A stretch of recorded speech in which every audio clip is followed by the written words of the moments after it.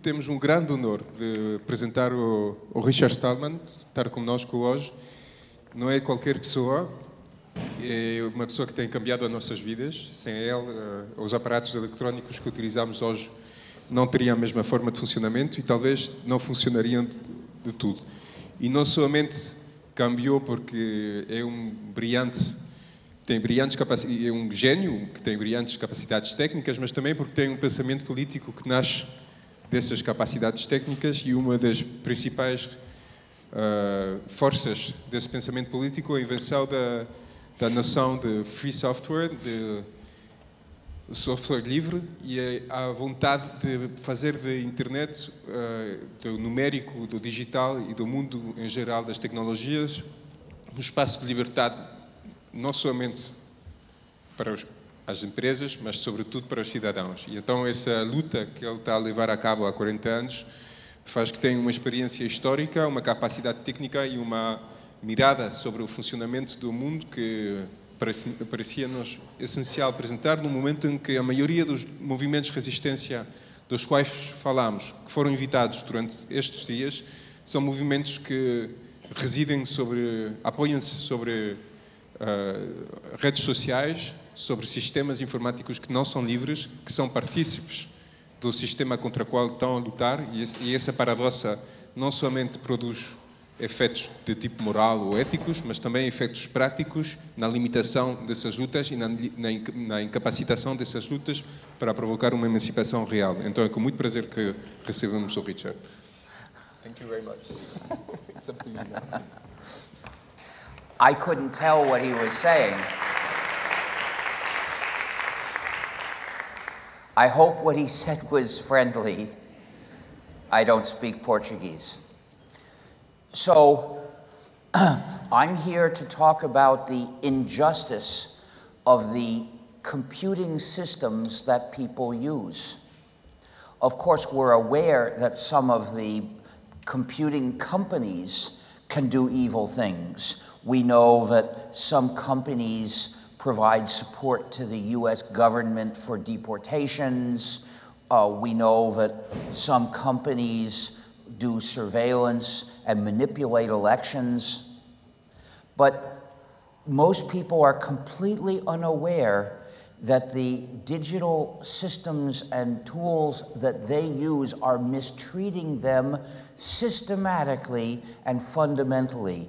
This is a form of subjection, a form of digital colonization that people have not become aware of.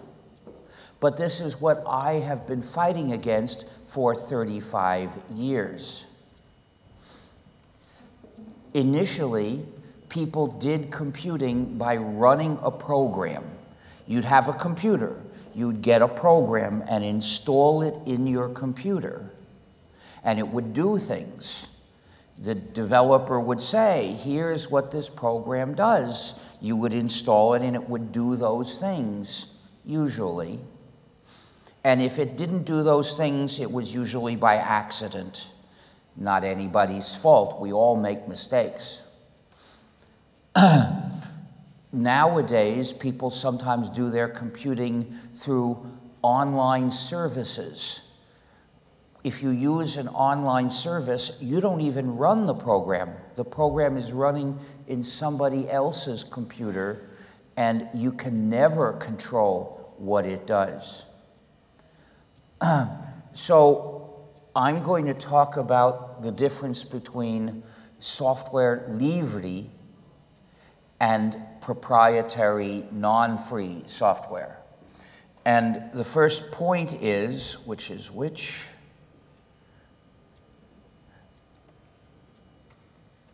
This the way?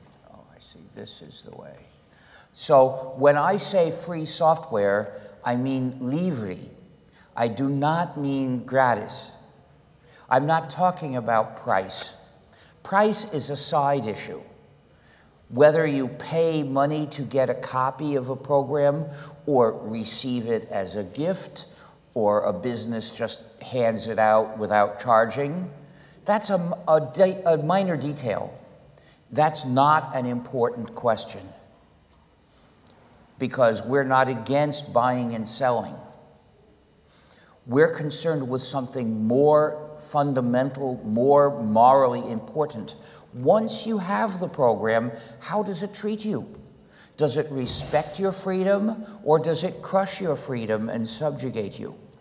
Does it respect your community or does it drive people apart and tear apart your community? These are the important questions. This is what Software Livre is about. So, first, what is a program? What is a computer?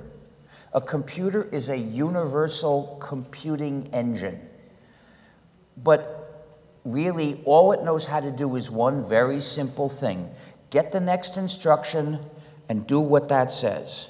And then the next instruction and do what that says. And the next, and the next, and the next. Millions of times per second, it will get an instruction and do what that instruction says. The instructions come from a program, which is simply a collection of instructions. Depending on what instructions are in that particular program, it can make the same computer do this or that, or that, or that, or that, or that, or that, or an infinity, potentially, of other things. The same computer with the right program could do absolutely any computing job except the impossible ones, which no computer can do. But if we stick to the ones that are possible, the same computer could do any of them with the right program, with the right instructions. So, who gives the instructions to your computer? You might think it's you when really it's someone else. You might think that your computer is obeying you when really it's obeying its true master all the time. And it does what you want if the true master says okay. But if the true master doesn't like it, you'll find there is no way to tell your computer to do the thing you want. There's simply no word for that. There, with any program, there are two possibilities. Either the users control the program or the program controls the users. It's always one or the other because there's no other possibility. When the users control the program, that is free software, software livre. Why so? Well, what is freedom? Freedom is having control of what you do in your life, control of the activities you do. But if you use a program to do the activity, control of the activity requires control of the program you're using. So when the users control the program, that program respects their freedom and community, so it's free software. I'll explain in a couple of minutes how community fits into this. Practically speaking, in order for users to have control of the program, the program has to give them the four essential freedoms. Now we're getting to the practical criterion for a program which is Livre. freedom zero is the freedom to run the program any way you wish for any purpose. Freedom one is the freedom to study the program's source code and change it so the program runs the way you wish and does your computing the way you wish. Why do we focus on source code? Well, here is some source code. This looks like a mixture of English and math. If you have learned the programming language, you can read the source code and understand it, and then change it to do something a little different or a lot different. But to run it, we convert it into executable code, which is an, an enigmatic series of ones and zeros, which is difficult even for programmers to understand, especially when it gets to be a lot of them. This is still a small program, but you can see it's a lot of complex details, not so easy to figure out what this program actually says. What are the instructions in this program? Well, with a real program, which might have a hundred million ones and zeros, the job of figuring out what it does can be painfully hard. So we don't even think of trying except as a last resort in a case of desperation. In order for people to really have the option of changing their programs, they must have the source code of those programs. Freedom 1 includes that source code is available. These two freedoms together give users separate control of the program. Here are four users using the same program. One of them is exercising freedom one by changing per copy of the program. I use the singular gender neutral pronouns person, per, and pers. They work grammatically like she, her, and hers, but they do not specify the person's gender. This way I can maintain the distinction between singular and plural, and that makes a lot of sentences much clearer and easier to understand. So this separate control is very useful and it's essential, but it's not enough because most users are not programmers. Most users don't know how to read source code, and why should they? They do other things. They have other talents in life.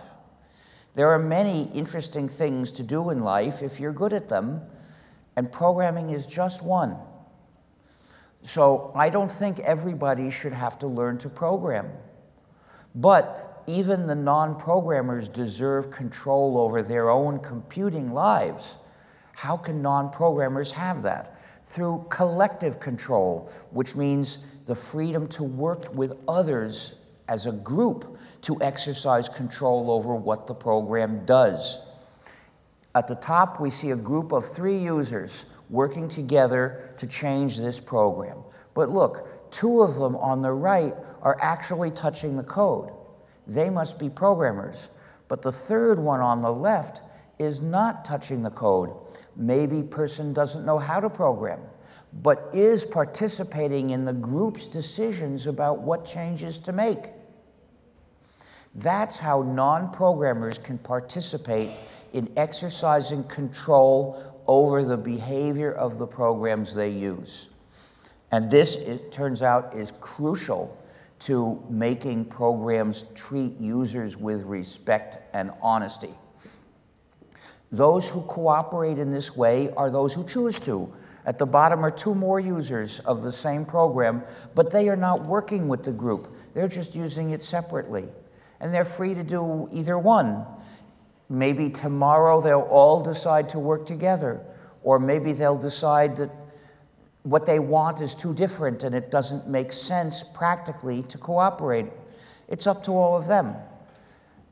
In any case, collective control of the program depends on two more essential freedoms Freedom two is the freedom to make exact copies of the program and give or sell them to others when you wish. And freedom three is to make copies of your modified versions of the program and give or sell them to others when you wish. These permit any group to function and cooperate. So if one member of the group makes a modified version, Using Freedom 3, person is free to make copies and distribute them to others in the group. But each of them with Freedom 2 is free to make more exact copies of that and distribute those to others in the group. Of course, they also have Freedom 3. They could make their own changes as if they wish. So this way, everyone in the group can get a copy. But the group does not have to have any formal existence. It doesn't have to have a list of members. Whichever people are cooperating, that's a group. So freedoms three and two do not restrict who you can distribute copies to. You can redistribute, you know, give or sell copies to anyone in the world. You can even offer copies to the general public, which means publishing that version. Anyone who gets a copy is free to do so. This is what free software means you're allowed to do. So, uh, if the program comes with these four essential freedoms, then the users control the program both separately and collectively in parallel. So this program respects the user's freedom and their community, and it's free software. And since the four essential freedoms are fundamental, I'll repeat them. Freedom zero, to run the program any way you wish for any purpose. Freedom one is the freedom to study the program source code and change it so that it runs in the way you wish. Freedom two is to make exact copies and give or sell them to others when you wish. And freedom three is to make copies of your modified versions, if you have made any modified versions, and then give or sell them to others when you wish. If one of these freedoms is missing or incomplete, insufficient, then the program is not free software because it doesn't respect the user's freedom and community. It is not under the control of the program, of the, of the users. Instead, the program controls the users. A non-free program controls the users and the owner controls the program. So this non-free program, precisely because it is non-free, generates a system of unjust power, power for the company over the users. And this is purely simply because the program doesn't respect the user's freedom. I've used an example of a giant company, but it doesn't matter if the company is big or small. No matter what company it is that owns this non free program, no matter how many or how few users there are, the company has power over the users, and this is an injustice. So, people often talk about monopolies or quasi monopolies for these software companies. Well, monopoly is a dangerous thing. But if instead of Microsoft, we had 10 different companies making 10 different non free programs to do the same job, I would say no to all of them because none of them should have power over me or over you. If you have a choice between non free programs, that means you can choose who is your master. Freedom means not having a master. If we want to be in control of our computing lives, We've got to stop anyone else from controlling our computing lives. We've got to escape from non free software. So, this is the fundamental injustice inherent in any non free program. But typically, it leads to other injustices because the owner has power over people and power corrupts. The owner feels the temptation to put malicious functionalities into the software. And nowadays, it's normal for non free programs to have malicious functionalities. For instance, spying on people. You've probably heard of the Amazon Kindle. I call it the Amazon swindle uh, because it swindles readers out of the traditional freedoms of readers of books.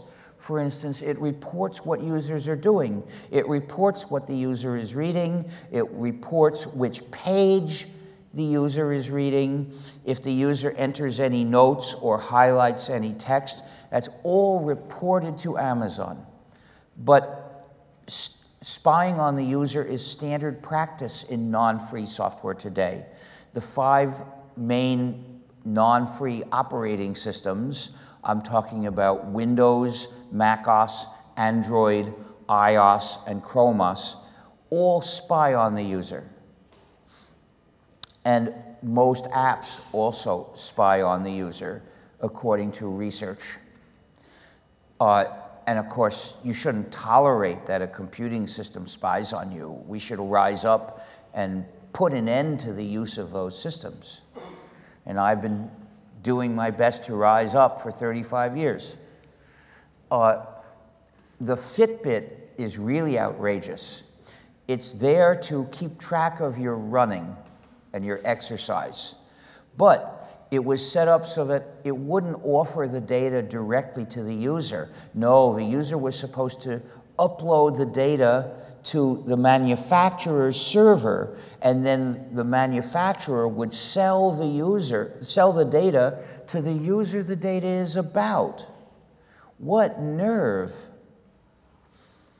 Well, if you hear someone talking about the Internet of Things, it usually means that it's designed to work that way. When the user wants to give a command to the product or get any information from the product, it has to go through the manufacturer's server, which means the manufacturer spies on everything and controls everything. There's even a sex toy that works this way. It's designed so someone else can send commands but those commands go through the manufacturer's server. So the manufacturer is spying on all the lovers that are using this in, as couples. Well, that's vicious. They shouldn't be allowed to know what users are doing with their products. It should be illegal to design these programs to spy on people. They should, it should be required to design them in ways where the manufacturer can't spy and neither can anyone else. In addition, occasionally the company says, We're not making enough money from that old product. Let's switch off the server, and all the products break. But this has happened many times. Then there is digital restrictions management or DRM. That's when the system is designed to, re, to restrict the users, to refuse to do certain things or refuse to do them for certain people. And here you can see that instead of your servant, that program is your prison guard, your jailer. So I refuse to use any system with DRM unless I can break the DRM. If it was designed to restrict me, then unless I know how to defeat the restrictions, I reject it totally. I won't use it at all. I've never used a Blu ray disc because I don't have free software that can break the digital handcuffs in the Blu ray disc.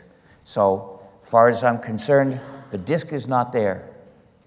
I would I will not trade my freedom for all the movies in the world And then there are back doors. A back door is when they can send a command remotely to your computer and tell it to do something whether you like it or not. The Amazon swindle has a back door to erase books. We found this out in 2009. Amazon erased thousands of copies of a particular book. Which book? Can you guess? It was 1984 by George Orwell. And this is how we learned that the system had the ability to erase books. It would have been even nicer, to, I suppose, more ironic if it could burn the books.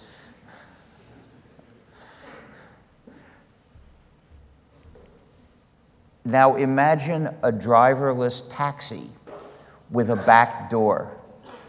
Imagine if someone could send a command to the taxi telling it to take you to secret police headquarters or the torture center with the doors locked and not let you open them. You can't trust a driverless taxi if it has any way of knowing who the passenger is.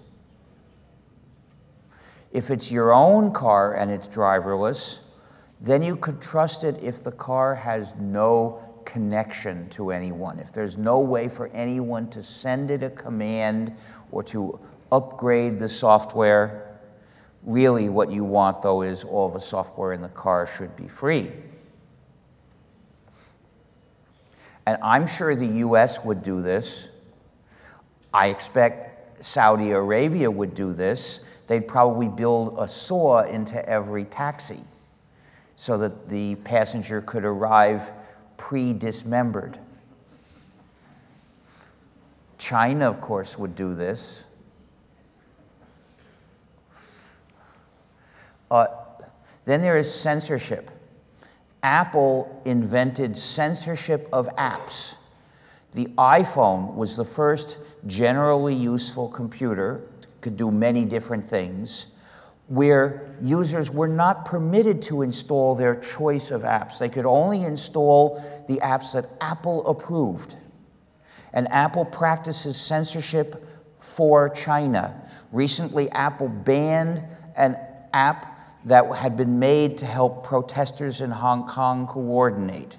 And China ordered Apple to block that app, and Apple did. By the way, there's also a back door. Apple can erase the app even if it's already installed. And uh, Windows has a universal backdoor, meaning that Microsoft can remotely change the code, which means it can do absolutely any nasty thing to the machine that has Windows running in it. This was first discovered in Windows XP. Nowadays, Microsoft admits that it has this backdoor, but uses a nice sounding name. It's called Auto Upgrade. Or if you don't like the change, you might decide that auto downgrade is a more fitting term. But in any case, this should not exist. It's an injustice. In any case, uh, these are a few examples, but almost everyone that uses non free software uses these. So we know almost everyone that is using proprietary, that is non free software, is already a victim of proprietary malware. And uh, basically, in principle, a program can be free or non free, and it can be honest or malware, and they're theoretically independent. But in practice, they go together. Free programs are almost always honest and non-free programs are usually malware. Why is this? There's a systematic reason. Because the developers of non-free software have power over the user, that power corrupts them, so they put in non-free, they put in malicious functionalities in order to profit more. And they know that whatever they put in, the users cannot remove it. The users are stuck. But we developers of, so basically the only way to trust a non-free program is with blind faith. You have to make an effort to forget that that company has mistreated you before, mistreated millions of people before, perhaps, and just believe, well, this time I can trust it, right? Blind faith. But with free software, you can have rational trust because you know that the user community controls that program. The user community can make that program honest. The user community can look for anything that is bad. Of course, it's the programmers who do that. But when they find something, if they find something bad and they release an improved version which doesn't have the bad thing, that protects you. Even if you don't know any programming, that corrected version will be circulated in the community, and eventually that's the one you will get. So, because the user community can protect itself, what that means is that the programmers in the community can protect everyone else in the community. We're not helplessly at the mercy of some company that owns the program. And this is what, de what deters free software developers from putting in anything nasty in the first place. Because you've got to expect that users will, will notice it and they'll fix it. We don't have power. That saves us from being corrupted. So you've got to recognize that a non-free program was meant to subjugate you and then mistreat you. It's an opportunity to be swindled. Don't accept it. You should come to the free world that we have built and live with us in freedom. We built it with the GNU operating system and the kernel Linux, which work together. I started GNU in 1984, almost 36 years ago now. And uh, Linux was started in 1991, and Linux filled the last gap in GNU. So now you can use the GNU system with Linux as kernel. It's also called the GNU slash Linux system. Many people mistakenly call the system Linux and they're giving us no credit at all. Please don't do that. Please give us equal mention. We started it. I think we deserve equal mention. So uh, there's a lot I will have to skip. But uh, I should point out that nowadays, a lot of digital systems surveil the users we suffer from more surveillance than the Soviet Union. And this is extremely dangerous. And not just in the ways people usually think of. Yes, Facebook uses this to manipulate elections or to let the rich manipulate elections, uh, and we've got to put an end to that. But simply keeping track of what people do is dangerous even if it's not used to manipulate elections. So if we look at the whole set of surveillance data, it's a lot of stuff, but it's collected by various different systems. In some cases through non-free programs, in some cases through services. Uh, but, and so it ends up in these different databases. But then they sell this data to data brokers. And so the data brokers put it all together into one effectively big database. Sometimes the data brokers get databases in anonymized form, meaning your name and your address and your uh, ID number are not there. But it turns out it's usually easy to figure out who the person is, so they do that. And so they put together one giant surveillance database. And in addition, governments do that. In the US, the FBI can simply demand a copy of these databases. It doesn't even have to give a reason, and it's done secretly. So you can't tell that the FBI has demanded the copies of a thousand databases that have information about you.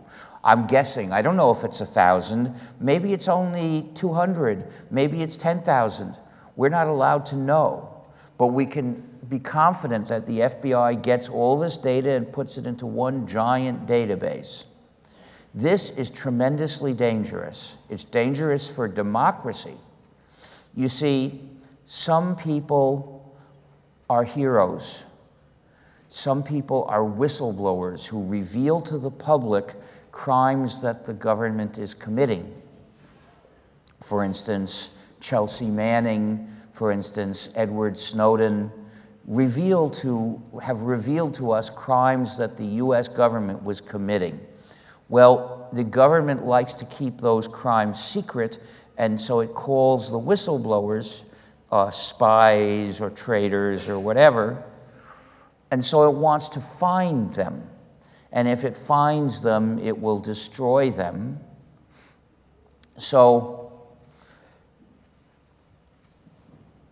how does it find them? Well, if the government records who goes where and what person does there and who person talks with, then it can almost always identify the whistleblower just from that. And if it catches all the whistleblowers, it'll be so frightening we won't have whistleblowers. We won't find out about crimes committed, either whether they're war crimes or crimes against democracy. We won't find out. So if we want to find out we must ensure that those, those things are not collected. We must make, make sure it is possible to communicate with people and travel to talk with people without being tracked. That's why I say this don't be tracked, pay cash. I never buy things with anything but cash. I go to a physical store and I hand over cash. That's the only way I do it because it's my duty to defend democracy by fighting against all systems to track what people buy. Tracking what people buy gives a lot of insight into their lives and their movements. This is why I insist on paying for the bus or the train anonymously, because the state must not be allowed to monitor people's movements. We have to learn that that is the prerequisite for democracy, making it sure people can communicate privately, that the, making sure that the government can't tell, can't identify the whistleblower by asking who talked with this journalist in the past six months because that's what the US government does. It gets the full communication records of the journalists who might have been involved, and then it says who in that agency talked with one of these journalists. People have been put in prison by this. So, if we want democracy, we must protect whistleblowers, we must facilitate whistleblowing, and that means we must not allow systems to collect this, these data. These data, who talked with whom, who went where, and what did that person do there, these data must not be collected except uh, when a court gives a specific order, you can start following that person now. And that should only be given when there's some evidence of a crime. To justify a court order to investigate someone, you have to show evidence of a crime. We must give up on the foolish, inadequate approach of the GDPR, which tries to limit the commercial use of the data already collected. That's totally inadequate. It can't ever do the job. We must go much further. We must forbid systems from collecting data. We must have laws saying if it is possible to do this job without identifying people, even if it's not quite as efficient, you must do it without identifying people. There are cities in Europe where if you park a car, you have to enter the license plate number in a machine. Well, that's a system of massive surveillance of people's movements. It should be absolutely forbidden. We know it's possible to charge for parking without identifying people. Therefore, the law must say you may not identify the people or the, the cars, which identifies the people anyway uh, you must use the anonymous methods and only the anonymous methods to collect that money. Anyway, some people propose to break up these companies into pieces. Well, then we'd have more separate databases at the beginning, but they would still go to the data brokers that would combine them, and the FBI would still combine them. So breaking up the companies won't protect us from data collection. It might be useful, it might reduce their lobbying power. That would be a step forward. But this is not the way to protect us from dangerous surveillance. We have to forbid the surveillance. So uh, I should mention many of you have heard of something called open source. Well, that is a corporate friendly co-optation campaign to depoliticize free software. As you can tell, the idea of free software, the free software movement campaigns for people's freedom, for human rights that have not been recognized but ought to be. Well, that struck people as too radical, some people. So they decided to separate our software from uh, the ideas behind our software. They started calling the programs open source, which doesn't mention freedom, doesn't even hint at freedom. So they developed a different discourse, a different philosophy that doesn't present the issue as a matter of justice or injustice, as a matter of freedom people deserve, as a matter of right or wrong. It just talks about the practical convenience when you can change the programs you're using. It is convenient. What they're saying is not wrong, but it's implicitly legitimizing the programs that subjugate people, and that's what's wrong. So, this is why I never advocate open source. I stand for software liberty, and if you care about these freedoms, you can show that by refusing to talk about open source you can do what I do, insist on talking about software liberty. Another thing you can do, well, we have some things for sale outside. For instance, this button that says, Ask me about free software, it costs four euros.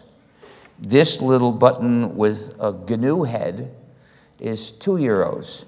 We've got various other products out there. We also have a lot of stickers which are gratis. If you can put one sticker to good use, please take one. If you can put 10 stickers to good use, please take 10.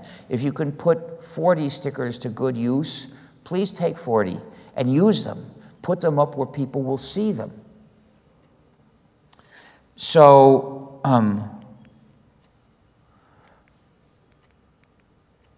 schools should teach exclusively free software because schools have a social mission to educate good citizens of a society that is strong, capable, independent, cooperating, and free. In the computing field, that means teaching people to be capable users of free software and ready to live in such a society and you should never teach students to use a non free program because that implants dependence in the future of society. It's like teaching them to smoke tobacco. Never. It should be forbidden for schools to ever teach the use of a non free program. And I mean any level of school, from kindergarten to university. And when I say teach, I mean anything that leads the students to use a particular program. They should always be leading students to be citizens of a free society, never teaching dependence. But in addition, there is moral education.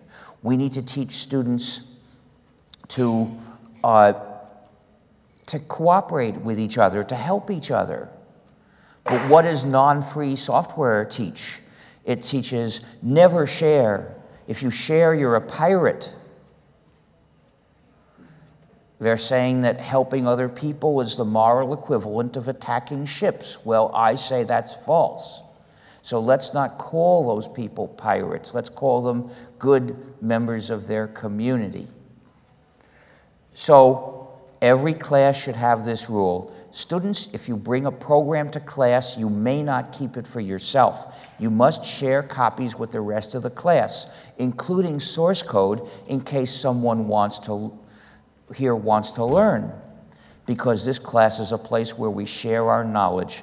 Therefore, it is not permitted to bring a non-free program to this class except to do reverse engineering, which means figuring out how it works so we can learn. But the school has to follow its own rule to set a good example. It must bring only free programs to class and offer copies, including source code, to everyone in the class that wants a copy. Human rights depend on each other. If you lose one human right, it becomes harder to defend the other human rights. Now that we do so many important things with software and digital systems, free software, which more broadly means control of your computing activities, is one of the human rights we must defend so that we can defend the other human rights. And that sometimes means you've got to make a sacrifice. If you want to keep your freedom, you have to say, no, I won't use that system. I will go to tremendous lengths to refuse to use non free software, refuse to identify myself. Of course, there's some places where it's legitimate to ask you to identify yourself. Dealing with your bank, yes, you should identify yourself. We don't want someone else to be able to steal the money from your bank account. But there are many other situations where no one has any legitimate reason to want to know who you are. Uh, we should fight against systems for buying things, for paying for transportation, for making a phone call when you're in the middle of the street, which require identifying yourself because that's dangerous. Now, there are many kinds of systems that surveil people nowadays. It's not just non free programs running on your computer like Windows or Mac OS or Android. They do so, but it's not just that. It's not just all the digital payment systems. We have developed an anonymous digital payment system. We should campaign for that to replace the, uh, the systems that identify the purchaser. Our system is called Taler.net. It's T A L R dot net. And uh, also, uh, if you're using a phone, a mobile phone, its location is tracked all the time. And it can be remotely converted into a listening device every mobile phone has some non-free software in it that communicates with the radio. And this program has a universal backdoor so they can replace it with a different program silently, and you might not even notice that any change was made. But the replacement program listens and transmits all the time, and it never really turns off. If you ask it to switch off, it is programmed to pretend to switch off, but it doesn't really switch off. So it continues running, listening, and transmitting. So I call the mobile phone Stalin's dream, and I don't have one. I feel that no matter how convenient it might be, it's my duty as a citizen to fight against Stalin's dream, so I don't have one. I do use mobile phones. I use lots of different mobile phones. If I need to make a call, if I want to say the bus will arrive in 40 minutes, I ask someone else on the bus, will you please make a call for me? That way I can tell my, my friend, or will you please send a text for me? And that way, Big Brother doesn't know it's me. Remember, I bought a ticket anonymously too. I hope Big Brother doesn't know that I'm on that bus. Big, the state has no right to know who's on the bus. It should never know. But of course, the danger of face recognition is hard to resist. And you know, it's interesting that several countries have made it a crime to cover your face in public. They present this as a way of persecuting Muslim women. But I say it's not just Muslim women who deserve not to be tracked in their movements. We all deserve this. We all deserve the right to cover our faces so that we can't be tracked. But it would be much nicer if we had governments that did not permit systems that would identify us in the street so that we could be sure we were not being tracked anyway. So, for more information about surveillance, look at gnu.org slash philosophy slash surveillance vs democracy.html. For more information about why software should be free, look at gnu.org slash philosophy slash free software even more important.html. And in general, look at gnu.org for information about the GNU operating system and the free software movement. And you can also help us. You can do work for the cause by writing free software if you're a talented programmer. But there are other things you can do that don't require any technical skill. You can organize to campaign. You know, this is a political movement that needs organizing like any other political movement. You can persuade schools and governments to move to free software. Nowadays, schools make students run non free software that spies on them to companies. Now, this should be a crime. Any school administrators that permit this to go on should be prosecuted. You can help other users if you become an expert at using the GNU system. Helping other users learn to use it is a good thing to do, too. Uh, and just saying software libre instead of open source shows your support for our cause. But there are so many other things you can do, there's no room for them. So look at gnu.org slash help and you'll see many other kinds of volunteer work that we need. So now it's time for the auction. This is an adorable GNU that needs a home. So I'm going to auction it for the benefit of the Free Software Foundation. If you buy it, I can sign it for you if you have a penguin at home, a penguin is the symbol of Linux, then you need a GNU for your penguin. There should never be a penguin without a GNU. so uh, we can accept payment in cash or with a bank card or with Bitcoin if you have something here to make the payment with. The, for a bank card, it's got to be one that can make international purchases by phone because that's effectively how this is going to work. Uh, is there an, a bank machine near here? There is. So you could bid and then you can go out to the bank machine and come back with the cash. It's always better for your privacy to get money, get cash out of the bank machine and pay cash than to pay with a card directly to a merchant because if you just get the cash, the system doesn't know what you bought. So it is partly protecting your privacy to go to the bank machine instead. So, anyway, uh, I'm going to start with the usual price of 25 euros. Please speak loud, I have hearing problems. So, do I get 25 euros for this adorable GNU? 25 euros, anyone, for this adorable GNU? No bids? How much? How about 30, I've got 30 euros. Do I get 35? How much? 40. 40. I've got 40. Do I get 45 for this adorable GNU?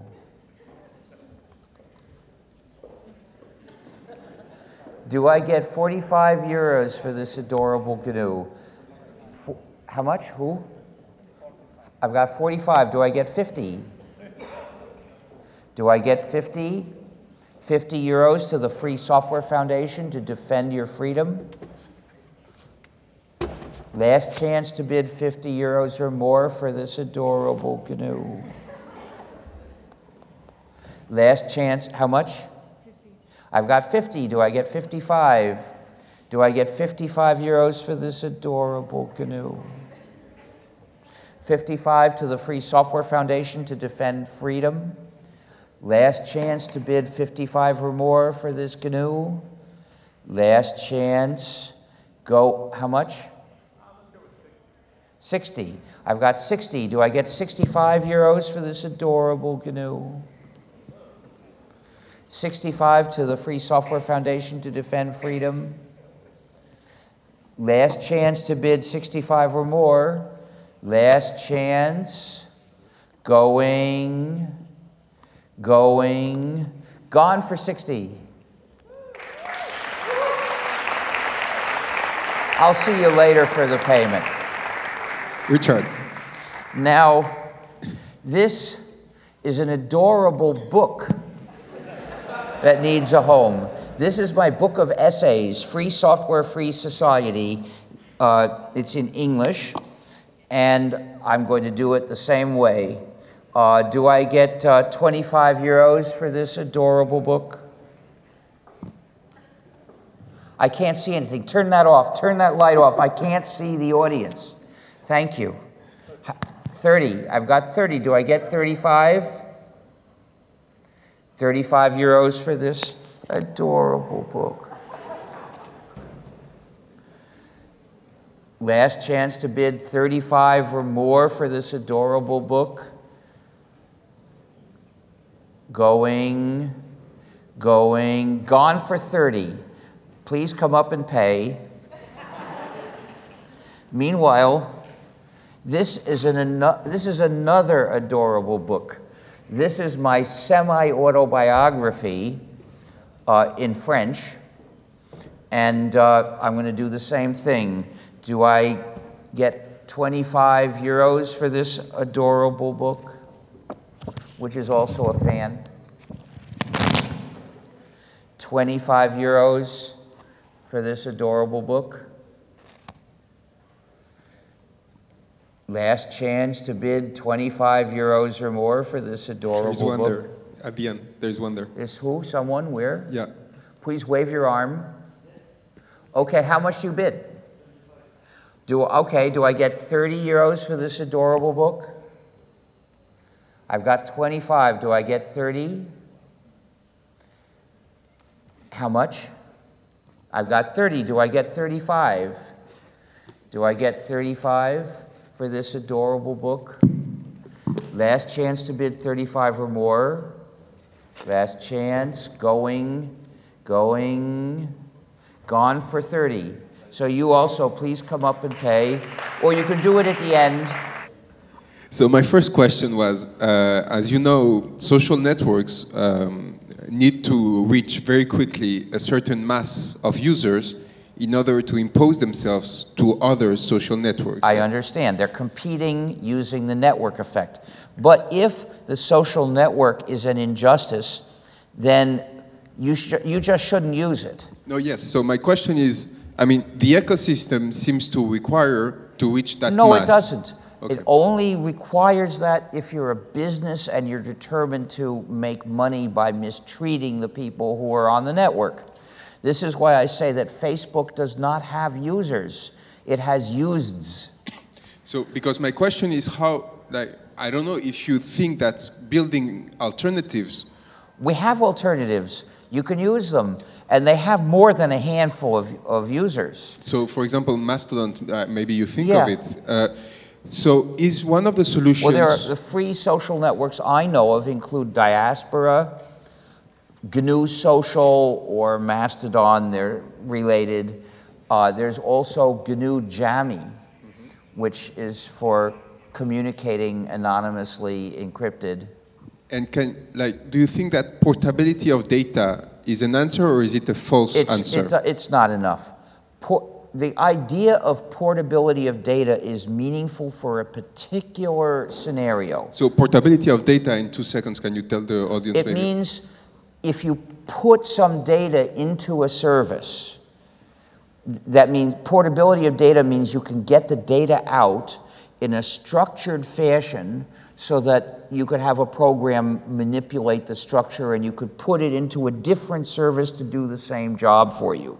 Well, this is only meaningful when the job that the service does consists of doing some computing on your data.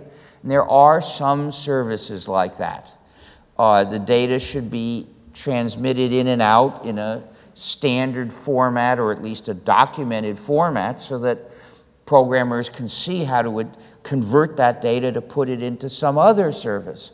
But most services are not like that. You know, uh, social networks, well, a social network doesn't exist so that you could take a bunch of data and put it in and tell it to do some computing on that data. That's not the job of a social network. It's a different kind of job. So the idea of data portability sort of makes no sense. Not only that, if you look at the example of Facebook, what data does Facebook keep about each Zucker? That's what the users of the useds of Facebook are called. They're Zuckers. Uh, so it keeps the data that that used has put in, but it also keeps a lot of other data which consists of deductions. You know, this person likes a certain song in a certain movie, so probably person is gay. Okay, those are it it does machine learning, figures out these probable rules, and then it reaches deductions about each Zucker. But those are not part of the Zucker's data. And when people ask for their data from Facebook, they don't get any of that. Is there a way to structurally tr transfer this data or the nature of the. I think it's irrelevant. The important thing is nobody should know it. So you, we shouldn't create a free Facebook. It makes no it's, sense. It's, well, the distinction between libre and proprietary, that makes sense for a program. More generally, that makes sense for a work. Now, what is a work? It's a, a particular series of information which can be copied. So a book can be copied, a, a, recording of music can be copied, a program can be copied. If I write a program and release it, well, then you can copy it. You could each have a copy of the same program. Then, if you wish, you could change it. It's possible to do that. Uh, with proprietary software, they say you're not allowed, but it's basically possible to do it. But that doesn't make sense for a service. You can't copy a service. There are no copiers, just as there are no copiers for tables and chairs and shoes and shirts. There are no copiers for these things. Most of the things we use, the physical objects we use in our lives, have no copiers. Uh, and copying is not a meaningful thing for individuals to do. How could you copy that microphone, right? Even if it's allowed, you still can't do it. Uh, so the things that distinguish a free program or a free song or a free cookbook or a free encyclopedia from a non-free one, they don't even make any sense for services. They're questions that don't mean anything. Uh, the only thing you know that the owner of a service is going to control what it does. So the only way you can trust it is if you know it has no capability to mistreat you. The only way you can trust it with your data is by not giving it data. So if the service lets you use it anonymously, such that it can't tell that you are the same person who did something else yesterday, then you can trust it. But how do we make sure of that? It's because of the interface between your computer and the service. If that, if that interface does not give the service the ability to recognize people, then it's safe. And if, it want, if they want to charge for using the service, well, with an anonymous payment system like GNU Taler, then you could pay anonymously each time you use it, and they wouldn't know that you were the same person who paid for something else the other day. So the, the free software movement needs, in a sense, an avant-garde, which is intermediating between the software and the users that have not the technical capacity to know if the uh, software is actually respecting them. And right and they depend on the on, on and users depend on the existence of this but anybody can become part of that. It's you just have to learn to program and start reading the code of free programs and reporting bugs. And in terms of accessibility accessibility when you say anyone is it really true that at any age with any condition you, you are capable of uh, maybe not But the point is, some people are going to be better at, at things than other And how- people. how you know, anyone can be a cook, but that doesn't mean you have the talent or I have the talent to be a great chef. And how do users who are illiterate in terms of computer programming and so forth uh, are sure that the avant-garde will not betray them in a way or another? because they'd be betraying themselves and each other. You have a community of people who use a certain program. They don't want it to spy on them. And some of those people are programmers and they study the code of this program because they noticed a, a bug. They want to fix the bug. They want to make the program do that job correctly. So they study it and uh, then they work together to make a corrected version of that program. Well, in the process, some of them have to read the source code, parts of the source code, and they might notice something malicious. If there's something malicious, it's in the source code somewhere. Well, if those people who use the pro- this program notice anything malicious, they're going to fix it because it would be treating them wrong. They're just users, you see. They're, they don't control this program in some way. If the program is profiting someone, they aren't the people who are being profited. Uh, you know, a malicious functionality in the program is bad for them just as it's bad for you. So if they notice it, they'll fix it. And in the process, of course, they'll announce, look at the nasty thing we found in that program. And all the redistributors will switch to the corrected version because they all have the interest to do so. And so, if we take a step forward, the technical the dimension in which I think it is quite clear, uh, we've seen uh, apparatus of power infiltrating or attempting to infiltrate this functioning. As, for example, Jacob Appelbaum to- told us yesterday regarding his work at Tor, which is supposed to help people um, um, navigate uh, anonymously on the internet. What And- does, and I use it for that. But remember, he was just to trying to, give the- help. the audience- yeah, yeah, He was trying to help specific people, namely dissidents living in dictatorships, people who might be killed if they were identified, and indeed, uh, they could be betrayed, and some have been.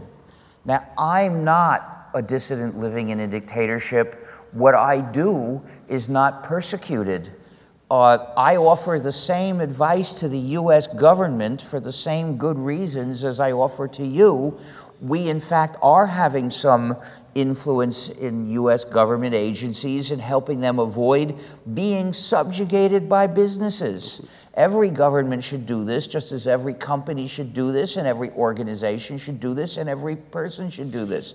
So the point is, the U.S. government doesn't consider me an enemy. So they the don't even bo- they don't even ask to search my computer when I go into the country. So the reason I ask you this question is because good technique or good technical solutions which are politicized in the technical dimension can be used by bad political actors. Yes, they So- can. and for but that's example, a di- that's a different question. Of course, like that's why I'm trying a to- I know, but I'd like to finish the previous one Yes. and then get to this one. You see, so I use Tor simply because I don't want companies to track my location when I'm communicating over the net. And Tor does that fine for me. Now, if the NSA or the CIA wanted to find me, I suppose it could. But I have no reason to think that they care. But I do know that lots of companies would like to fill up a database about my movements and travel, and I don't want them to do that. So, for my need, Tor seems to work just fine as far as I can tell. as long as you are not, uh, yeah, targeted as politically by a government. Exactly, exactly. So, a tool that can give most of us adequate privacy about our movements may not be enough for a dissident in Egypt or a whistleblower in the US. Who knows? And on the other hand, uh, we've seen uh, emancipation movements, very important emancipation movements, rely heavily on platforms like Facebook, like uh, Twitter, and so forth, which are designed to collect their data for, Right. for, for commercial reasons, but which also actually work as concentrators of data, which Yeah. can be then used by governments to spy That's on right. them. So, So the point is, but they never pretended to protect people's privacy. They never pretended that they didn't surveil. Facebook is all about surveillance. So the question I'm asking myself, and I don't know, do you consider it as paradoxical? And is there a paradox that is it a paradox that you can solve? Because as we know, I don't have a solution for that. Uh, Facebook does, but you see, I'm not talking about that particular issue, not directly. No. What I say relates to it, but I am pointing out a form of oppression that you weren't even thinking about, that you hadn't even noticed. Now, this doesn't deny the other kinds of oppression that you're aware of. Of course, they're wrong too. But the, what's, it's, you know, it's like when people started pointing out the danger of seed companies and the power they have over farmers. Well, when I first heard that, it had never occurred to me that there was a problem. But yes, it's a problem. Well, okay, I'm doing the same kind of thing. I'm telling you that uh, companies that control the software you use are dangerous, just as companies that control the seeds you plant are dangerous. so you leave up to the individuals and citizens the decision, because, for example, Well, I have no choice about that. No, of I course, can't no, tell but- anyone what to do. No, but prescriptively, in the sense that, for example, an Algerian person who tries now to mobilize its, himself or herself in the, in the movement needs to go through Facebook and WhatsApp. I today. don't know what they need to do. I do know that I wouldn't use either of those if I.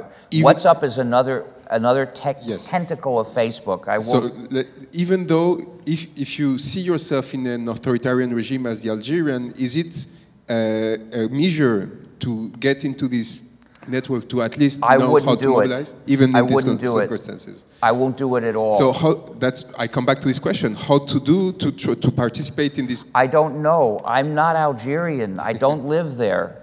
And I'm not going to try to, to pronounce upon recommendations for people in situations I don't know. But we don't have. So technically, we don't have alternatives yet. Well, yes, you do. There are lots of free social networks. You can connect through Tor to networks that maybe the you know, to that the Algerian government probably can't spy on. The U.S. government maybe can, but I don't think the U.S. government is particularly a friend of the Algerian government, is it? I don't know. it's. Uh, Uh, in, in the past, it wasn't particularly. So the thing is, I don't know about situations like that. I'm pointing out that all of us face oppression through the digital systems that subjugate their users or spy on them, restrict them, and mistreat them in various ways. This is another part of the political situation that people have ignored completely. yes. Now, I've dedicated myself to this particular form of injustice. I try to fight against other injustices too on the side, but there I'm a helper. I'm one of the millions who tr- support those other causes. So I think it leaves a question for us, an ex- extraordinarily important question is how to combine uh, this, the emancipation from this oppression you speak about, and how to still be able to organize massively movements of emancipation in countries that are suffering well, there from is, political pressure. You know, uh, I don't know how it is that they let people continue to communicate dissent through Facebook. Why don't they block those Facebook pages? I have, don't know. I have, I have a suggestion. I think uh, in France, for example, the, the yellow uh, vests and not yellow jackets uh, massively organized themselves through Facebook. But more importantly, Facebook seemed to push their content because they were, it was very viral content because it Uh, relied I don't on. like the word content when you're talking about people's statements or works or. so the It says it's filler for a videos, statements, and, and Yeah. so forth. And probably because it, it triggered very uh, raw emotions on people, which actually pushed them to share them and therefore maintain them in the platform in order for Facebook to make yes. profits. And in the US, Facebook does that with Nazis. And, and Facebook doesn't care if it triggers a revolution Yeah. in Algeria, in France, because of its because it is looking for profit. Yeah, and, exactly. And so it doesn't care actually for the actual content of the of the statements. Yes, of the, exactly. It doesn't, it doesn't care which cause it is. But do note that Facebook gets its money mainly by selling targeted ads. So if the viral messages are messages that enable people with money to sell targeted ads, those are the ones that are going to be promoted most on Facebook. And that's why uh, more or less right wing messages tend to get promoted mainly on Facebook.